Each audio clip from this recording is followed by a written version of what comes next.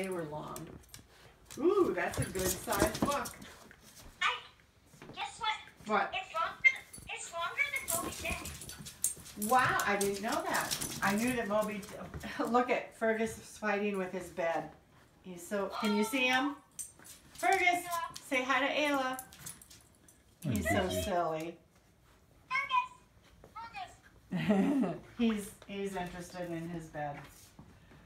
So I yeah I knew Moby Dick was a long book. I didn't know how many pages. That's cool. Dad just told, told me. Mm. Well, it's not necessarily how long a book is. I mean, it it you need to have an attention span that will stay with the whole story. But it's like the level of the words and the understanding that's important. But you're really smart. You can understand a lot. I'm sure that you read at a level much higher